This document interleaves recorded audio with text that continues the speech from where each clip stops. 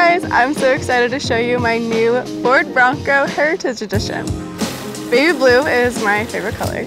So this robin's egg blue is perfect and I love vintage cars so all of the details are super important to me. The red grille letters which is the same as my 1969 Ford Bronco. Over here we have the heritage badge which I love. I picked the two-door Let's go on inside. I love the seats because it has this black detail that is inspired by the vintage Bronco, but it also has all of the modern day technology of the new Bronco. I love off-roading with my family back home at the lake, so I'm super excited to use the GOAT modes, and I can't wait to also use the Bronco Trail app, where they have trails that are already ready to go.